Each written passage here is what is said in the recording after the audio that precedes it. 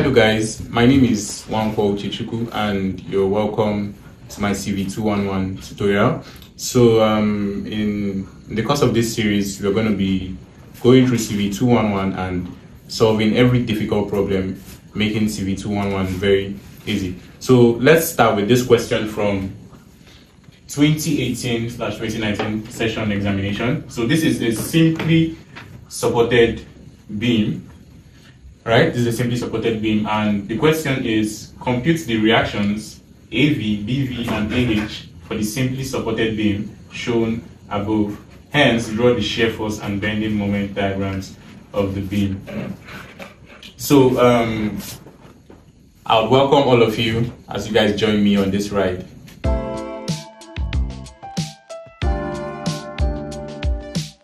All right, so um, we're going to start with the the very first thing you should do when you have a problem on beam analysis is to draw the free body diagram, and that's what we're going to do right now.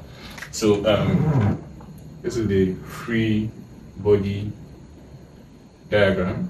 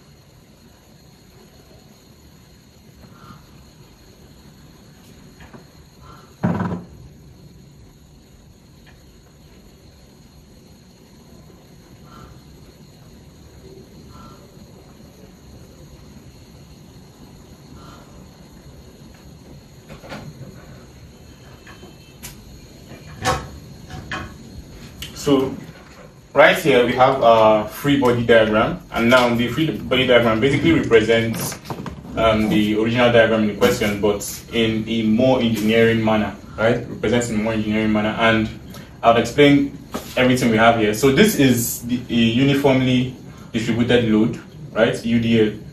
Now this is a point load at this point and this is another point load, right? Now this is the reaction from our roller support. Now the roller support has only one reaction, which is vertically, and this is the reaction from uh, pin support. It has two reactions, so it has a vertical reaction and a horizontal reaction. That is why we have two forces acting here, and these are the dimensions.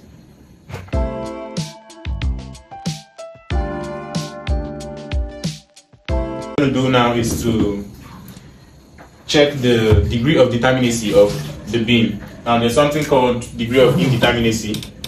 It's DOI. And the formula is 3m plus r minus bracket h plus 3j. So take note of this formula. This is the formula you, you use to determine if this beam is analyzable by simple force equations or not. And let's let's go ahead and check it. Let's go ahead and check it. It is expected that this is going to give you zero as your answer. But before before we do that, I just want to explain each and every parameter here, right? Now m is the number of members in this beam, and this is just one right? It's just one beam, so it's one member. Now R is the number of reactions from the supports. Now we have this vertical reaction here, this horizontal reaction here, and this vertical reaction here. That is three reactions. And H is the number of hinges. So as you can see, there's no hinge on the beam. And finally, J is the number of joints, right? Now we don't know what the joint is. So there's a joint here, and there's also a joint here, which is two joints. So let's go ahead and check the degree of indeterminacy. So we have three brackets, one plus three reactions minus H is zero, and we have three times two joints, right? And this is going to give us 6 minus 0 plus this 6. This is 0, right? So this means that our beam can be resolved using the normal force equations. Next would um, next would do the resolving of forces. Next we'll do the resolving of forces. So resolving of forces.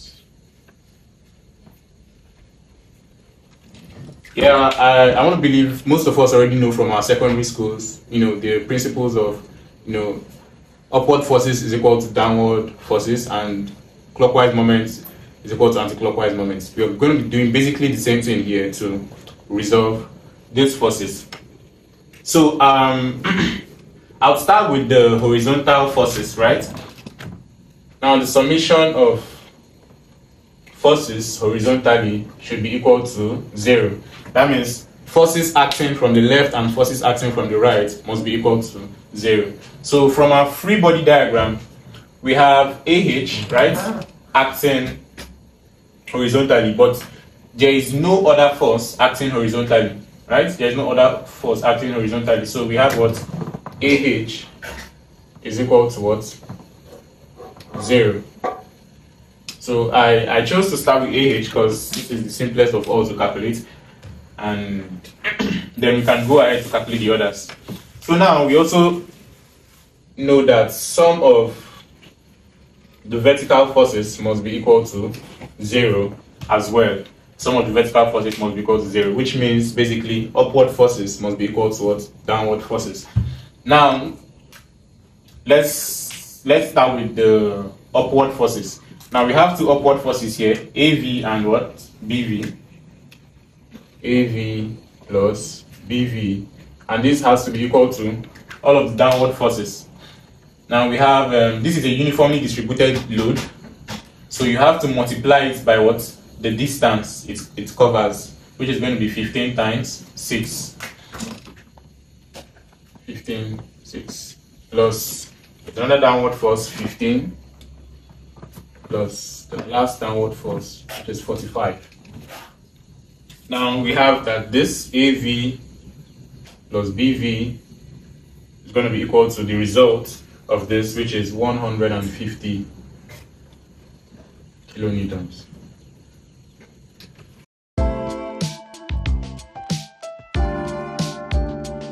All right, um, we already have this equation, AV plus BV equals 150 kilonewtons, but this equation is not enough to get the values of AV and BV. So we need an additional equation, and that is where we get the moment equilibrium equation, which is the summation of moments about any point is equal to zero. Now, um, this is a little bit tricky, so but I'm gonna make it clear for everyone that might find it difficult. So, um, when you say moments about a point, right? The definition of moment is force times distance, right? And force times distance perpendicular to that force. Now, if a force is acting this way, now let's let's let's take this force as an instance, right? I want to find the moment of this force, right, about this point. I'm just taking an assumption about this point. It's going to be the value of this force times the distance from the force to the point we are we are checking at. If it's this force we are checking for, it's going to be the value of this force times the distance covered and um, the distance from the force to our point of reference. But then when you look at a uniformly distributed load, right? It's it's kind of multiple forces acting along a length. And let me describe how this works. So when you're when you have a uniformly distributed load like this, is UDL. Now you have has a value of 15 kilonewtons per meter. Now what this means is for every meter covered, a force of 15 kilonewtons is acting for every meter. So it is like 15 kilonewtons, like it's multiple 15 kilonewton forces acting at every meter. Now, for us to be able to compute the moment caused by this uniformly distributed load, picture it this way. Try to convert this into a single force, right? It means to try to convert this into a single force. And how do you do that? Assuming this is acting as a single force, where would it act? Where would it act? Right? Where would it act? Now, it's going to act at the centroid. Now, the centroid is, sim is simply, for the rectangle, the centroid is simply the middle, the center of that rectangle. I don't know if um, it's clear. So, if a group of forces acting in this um, over this length, this length is um, six meters, right? Six meters. Now I have a group of forces acting over six meters. Now, if you want to convert it to a single force, where would that single force be acting? It would be acting at the center, which is the centroid. So it's acting where three meters from this point. So with this understanding, let's get back to um, our question and solve for the moment. Now, when you're solving for the moment, you take each each force and treat it like the other forces didn't exist, right? You take each force and treat it independent of the other forces. Now, let me explain this statement. Let me just further explain the statement. The summation of moments is equal to zero it's the same thing you know as what clockwise moment is equal to what anti-clockwise moment. Now take this for instance. How this marker, if this marker moves in a clockwise direction, it means it's moving like this, right? And in an anti-clockwise direction, it means it's moving this way. You understand? So now, what you what you do here, you check the forces that are that are causing this marker or this beam rather to move in a clockwise direction. Hmm? independent of any other force. Now let's take this force acting this way. Now it's, it's, it's pushing it down this way, meaning it's acting what? Clockwise. This force is also pushing it down this way, meaning it's acting what? Clockwise. This force is pushing it down this way, meaning it's also acting what? Clockwise. But if you look at this force, it's pushing it up in this direction, right? Meaning it's acting what? Anti-clockwise. And then this force that is acting at the point it doesn't have any effect but because it's it's acting at the point of reference so it's not pushing it's not pushing it clockwise or anti-clockwise so we have our um, clockwise forces this this and this and then this is the only anti-clockwise force so um, let's compute the moment so we have that we we, are, we need to form an equation from the fact that the clockwise some of the clockwise moments must be equal to the sum of the what? Anti-clockwise moments. So let's start with the clockwise moments. Like we said, for a UDL, the the effect of this force is going to be what? 15 times the distance covered by the force, right? It's 15 kilometers. If you go back here, it's 15 kilonewtons per meters, and it covers a span of 6 meters. So over 6 meters, we're going to have 15 times 6. Now, so the effect of this force is 15 times 6, 15 times 6, right? So it's going to give us um, 90 kilonewtons. Now, that 90 kilonewtons is acting where? At the middle of this span. If we are converting it to a point where it's acting at the middle of this span. So this means that when we are calculating for the moment, we are calculating the distance from the middle of this span to what? Our point of reference right? So let's take our let's take A as our point of reference, taking moments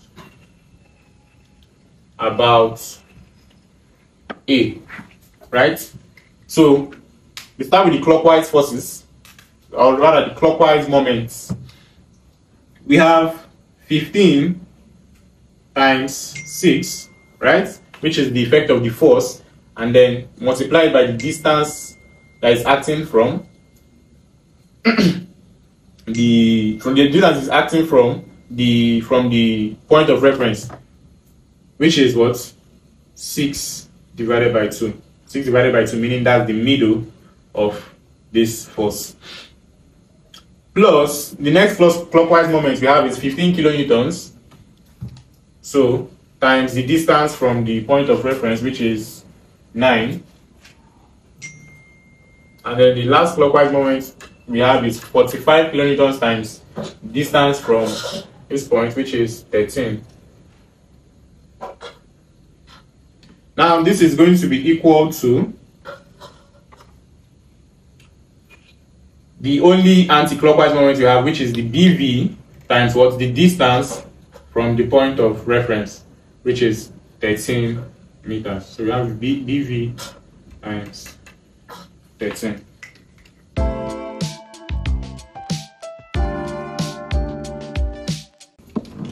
Now, um, solving this, solving this, if you have your calculator, you can check it. You're going to have 990 is equal to 13 BV, right? Now, that means we have, um, dividing both sides by 13, you have BV, right, is equal to 990 all over 13, which is going to give us 76.15 kilonewtons. Now we recall this equation. Recall um, AV plus BV is equal to 150 kilonewtons. So we have that um, AV is equal to 150 minus BV, which is equal to 150 minus 76.15 and that is going to give us 73.85 kilonewtons. So now we've um, solved the first part of the question. We have our AH, our AV, and we have our BV.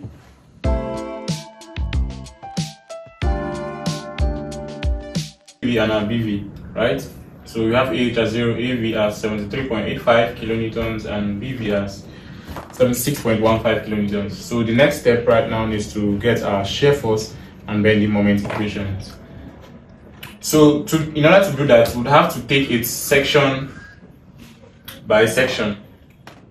Take section AC, get the equation for section AC. Take section CD, get the equation for section CD and take section dB, get the equation for section dB.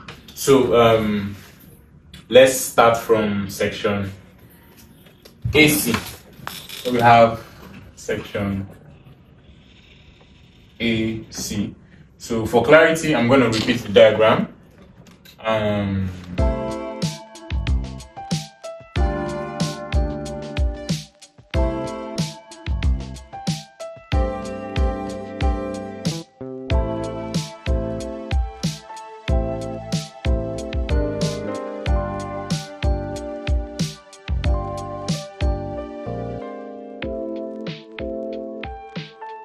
the shear force equations, we'll find out, we'll just add the boundary conditions, that's the conditions at A and at C, to get the actual values. So, um, let's see, this section AC, right? Section AC, this is between 0 and 6. This is where it ends. 6. So, um, the boundary conditions now, we have VA right? That means at where this I put in brackets where x is equal to zero. Now this is going to be equal to. Let me just put it as a subscript so that it doesn't confuse you. So VA in bracket I put x equals zero. Now from we have Vx is equal to 73.85 minus 15x. So we have 73.85 minus 15 bracket 0 which is going to give us what? 73.85 kilonewtons now we check vc that means at where x equals to 6 we have 73.85 minus 15 bracket 6 and this is going to give us um, minus 16.15 kilo newtons. Now for the moments the bending moments we have ma that means that x equals to 0 so our bending moment equation is is this. So we have 73.85 bracket 0 minus 15 bracket 0 squared all over 2 and this is going to give us what? 0 and we have mc and it's at x equals to 6 we're going to have 73.85 bracket 6 minus 15 bracket 6 squared all over 2. Punching this on your calculator, you should get um, 173.1 kilonewton meter.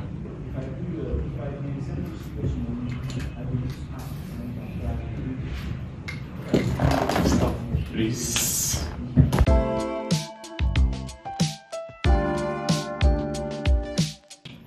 what we want to do now is we're starting with section AC, right?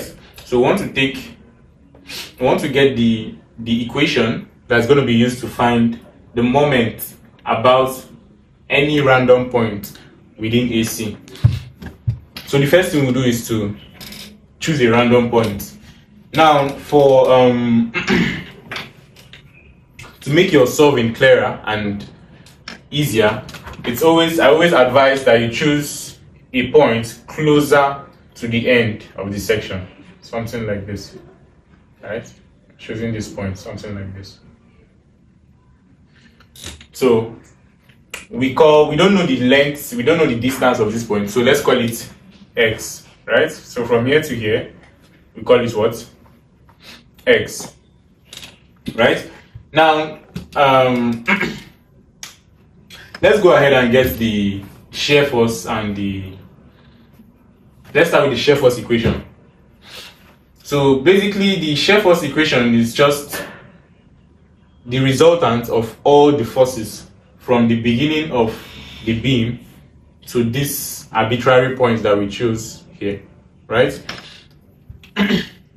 so um, from the normal convention is we take upward upward forces as positive and then downward forces as negative.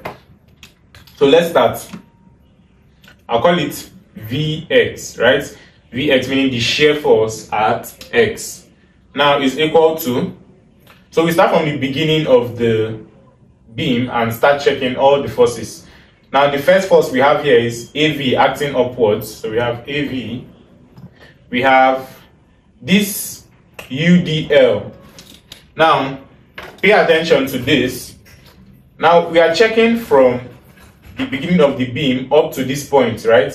Where our x stops. So we are going to consider the UDL just from here to here, right? And um, remember what I said about UDLs? That's uniformly uh, uniformly distributed load. Is this is the load per meter, right? So you just multiply this load by the what distance covered by the load in order to get the effect of the load, right? As let's assume you are converting into a point load. You multiply 15 by this distance, which is x. That is the effect of the load. And it is acting um, downwards, so it's going to be negative. So we have AV minus 15 bracket x, right? So I think that is all for all the forces that happen to occur before these arbitrary points that we've chosen. So we already know that our AV is what? 73.85 kilonewtons. So we have 73.85 minus 15x. So this is the shear force equation for the section AC, right? Now let's get the bending moment equation. Let's get the bending moment equation for for that same section. So it's basically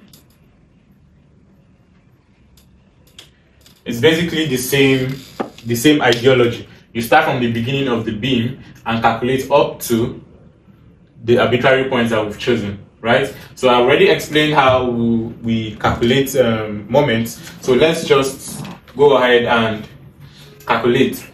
So we have AV times the perpendicular distance from the point of reference, which is this point, x here. So the, the moment is going to be AV times what? X, right? Minus this force, the effect of this force, right? Times the distance from the um, reference point. So the effect of this force, like we said, is 15, 15 times the distance, right? 15 times x. Now, what's what is the where is the force acting? The force is acting at the middle, from what I explained earlier. The force is acting at the middle, which is going to be what x divided by two. So we are going to have 15 times x times the distance from where the force is acting to the point of reference, which is what x over 2. This implies that our bending moment equation becomes AV is already known 73.85 73.85x minus 15x squared all over 2.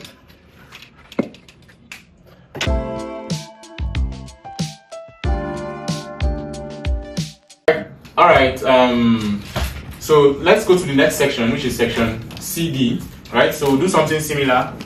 We choose an arbitrary point. Like I said, it's always nice to choose a point that is close to D, gives you a better illustration.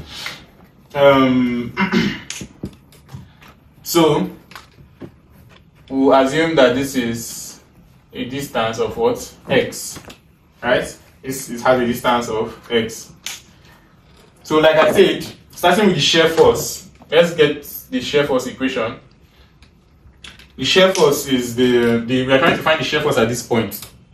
Um, it's like I said, it's basically the sum of all the forces in the beam before you get to this point, right? That's from the beginning of the beam to this point. So let's start. From the beginning, we have what? AV acting upwards. Remember, we said upward forces are um, positive, while downward forces are negative. Now, here, the the full um, the full UDL is acting here. So, like it's this. If if this our if this uh, point was somewhere in between, we'll count, we'll calculate the UDL just within that span. But as we can see, the complete UDL is within the span, so we can just calculate completely for it. So this force here right now is what's going to be 15 kilonewtons per meter times the distance it covers, which is what? 6, 6 meters. So we have 15 times 6. Now we also have, I think that is all. There's no other force acting on this beam between, before you get to this point that we've chosen. So what it means is we'll resolve this.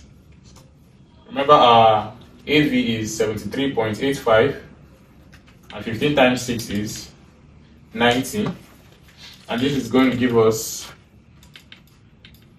minus 16.15 kilonewtons. So for this section, for this section CD, right, uh, shear force is what? Is a constant. Now let's get to the bending moment. So similar, something similar that to what something similar to what we did before is, is the sum of all the moments from the beginning of the beam to our point of, of reference. So we start from here. We have what the moment um, generated by this force is what AV times x, this distance from the point of reference. We have AV x Now, the moment caused by this UDL, like I said, we try to make it a point load. So the, the effect of the UDL is 15 times what? 6, right? And then it's acting at the center, which is at this point. Right? Let's assume, and, and not really assuming, but this is where it's acting at the center. Right? So now, what we are, we want to find distance from this center up to this our point of reference, right? We know that this full distance is x, and this short distance is what? 3 meters, right? From here to here is 3 meters, right? So we know that the distance from here to our point of reference is going to be what? x minus 3, right? So we have minus 15 times 6 times x minus 3.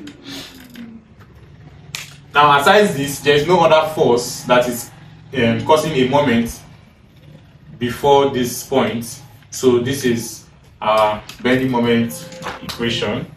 So we simplify this. We already know AV, which is 73.85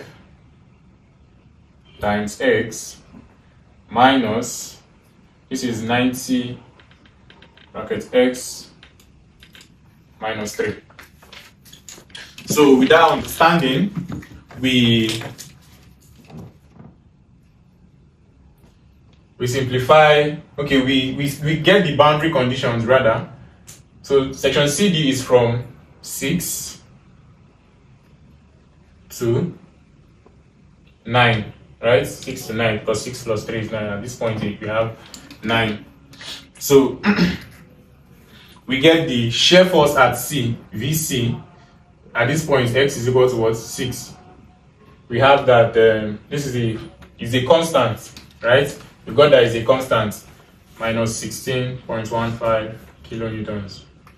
That means the shear force at D is going to be the same value, minus 16.15 kilonewtons. So let's go to the bending moment. The bending moment at C, that is where x is equal to 6, is going to be, we have 73.85x minus 90 bracket x minus 3. So we have 73.85 times 6 minus 90 into 6 minus 3. So once you once you solve this, you should be getting 173.1 kilonewton meter. You can check with your calculator. And the moment at D, that is where x is equal to 9, where x is equal to 9, yeah. So we have 73.85 into brackets 9 minus 90 into brackets 9 minus 3. This gives us 124.65 kilonewton meter. You can also cross check with your calculator. Now there's something important to note. It will always it will help you know if you're on the right track. Now the, the value you got for um, the moment at C when you were checking section AC, right, must be equal to the value you get at with as your moment at C when you're checking for section CD. So if you notice, when we calculated MC for section AC, this is exact exact value that we got. So it's a good way to check if you're actually on track. So these are all the values for section CD. So let's move on to sec the final section, which is section DB.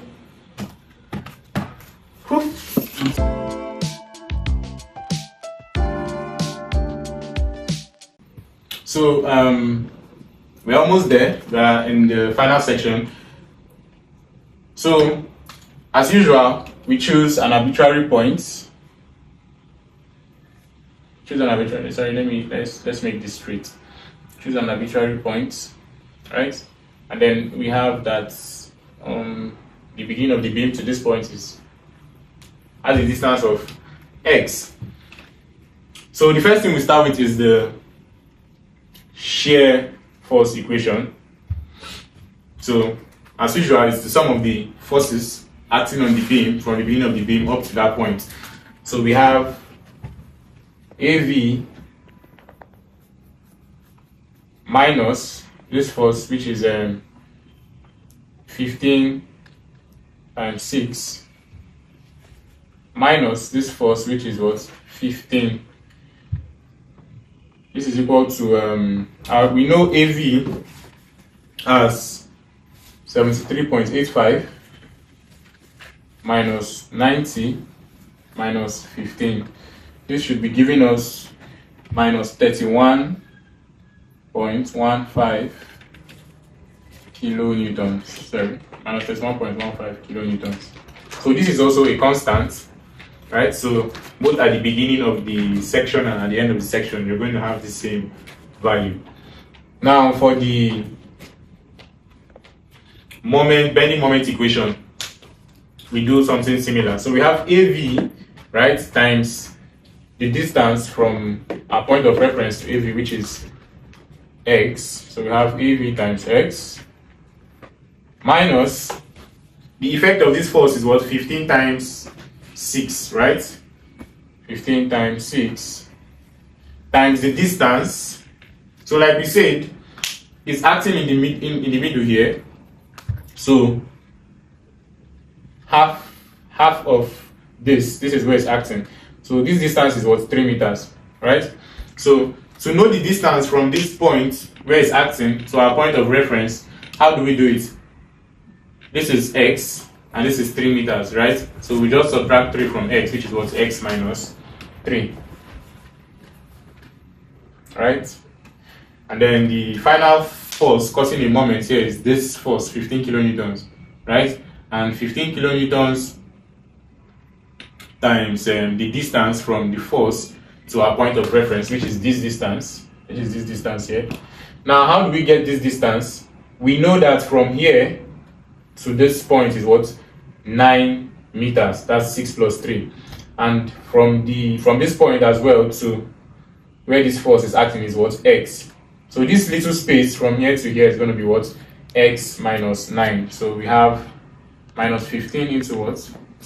x minus 9. Right? Let me write it better.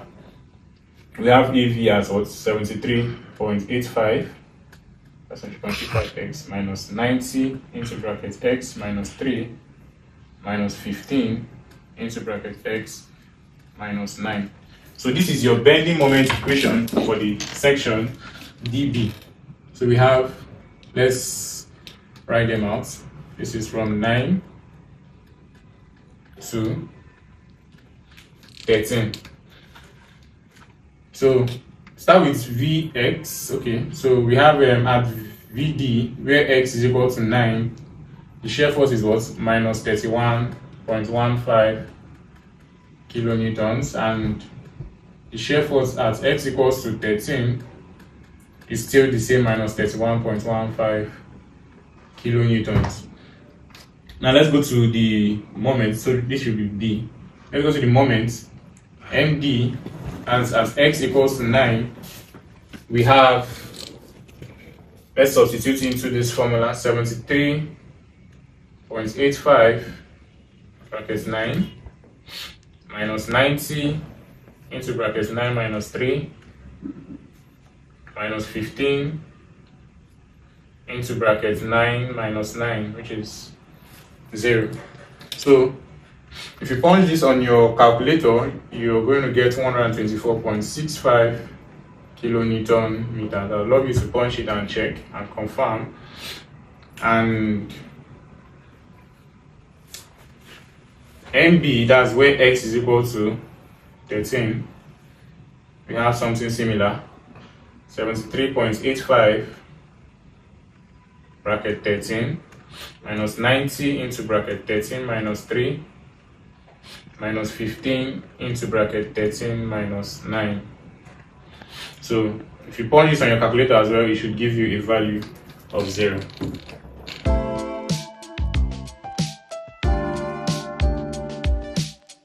Alright, um, so we've got we've had almost all the work done.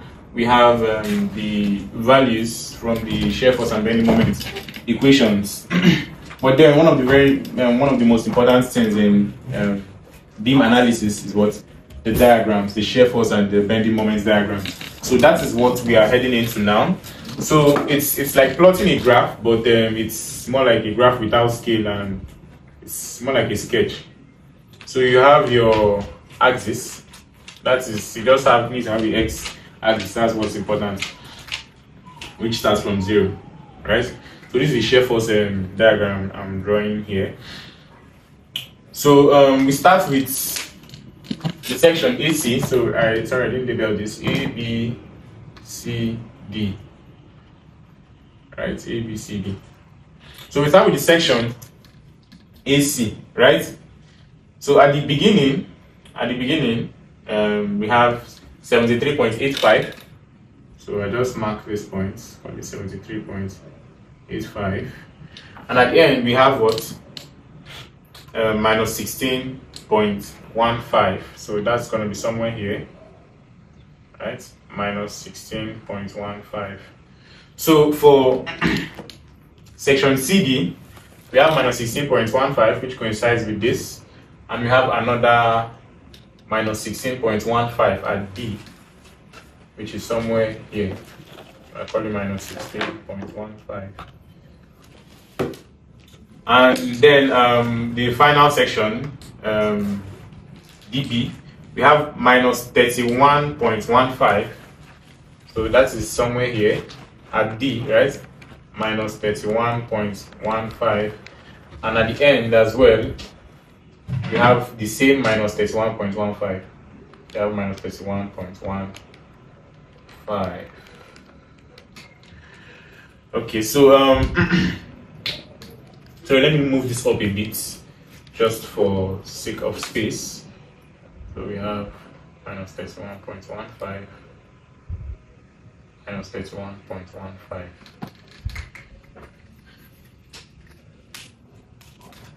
So I'm going to um, get a, I'm going to get the diagram and explain it. So this is how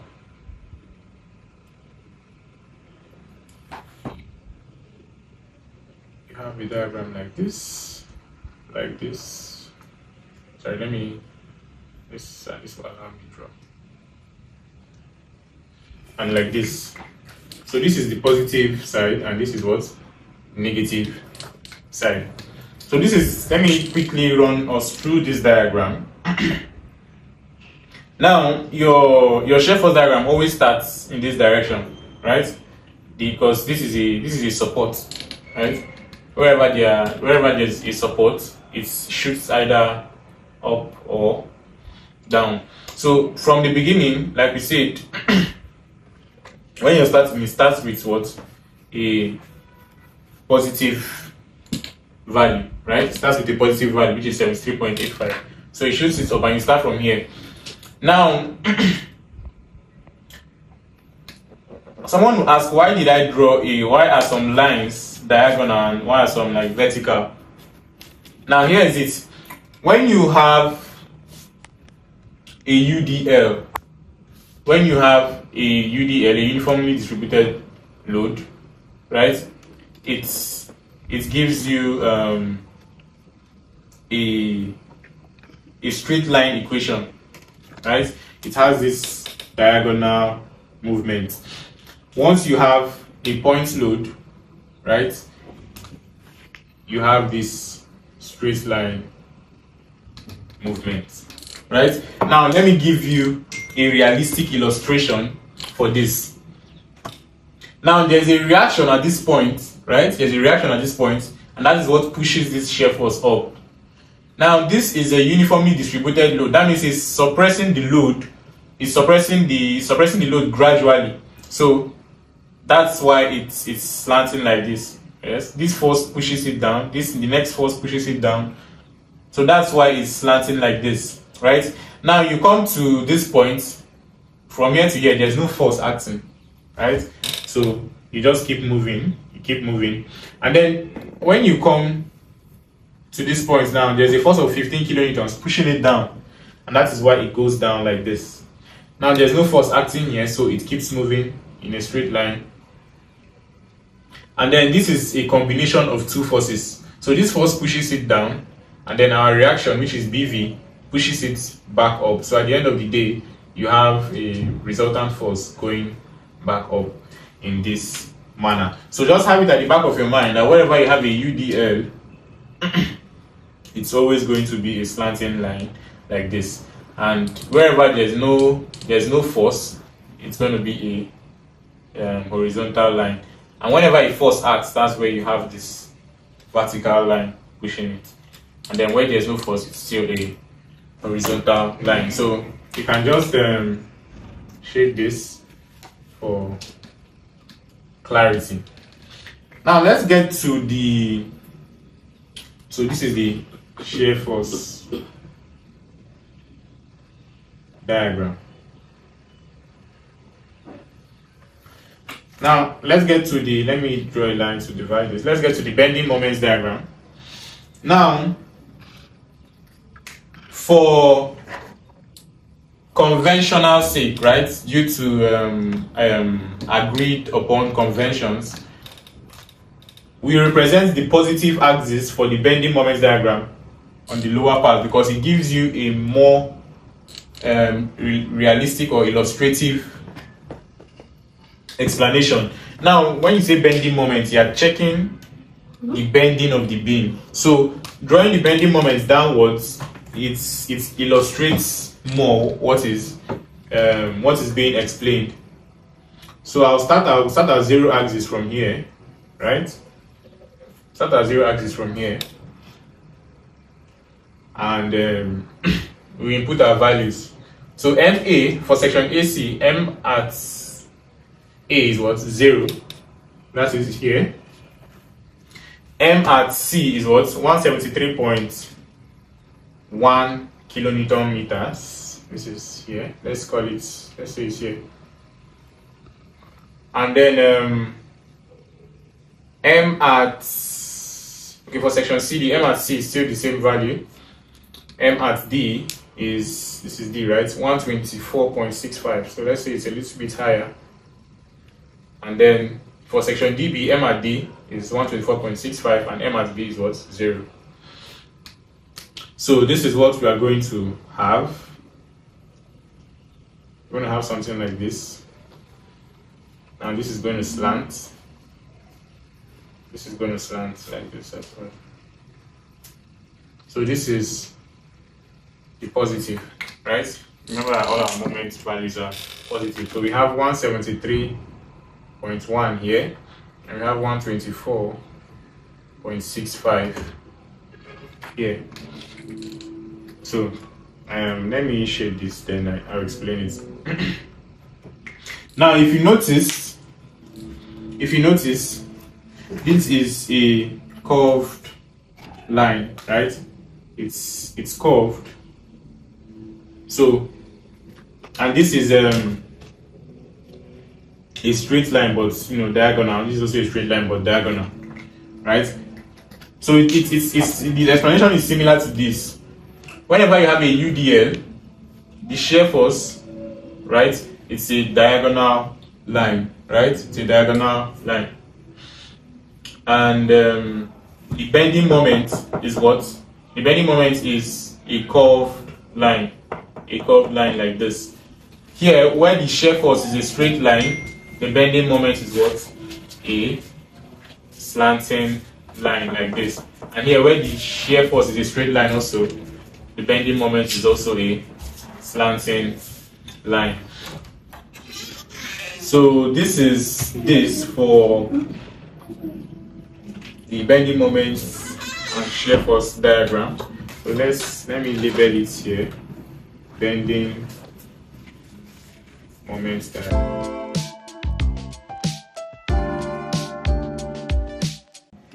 Um, we've come to the end of this particular question, and I want to believe that the session has been very immense and you've gained a lot.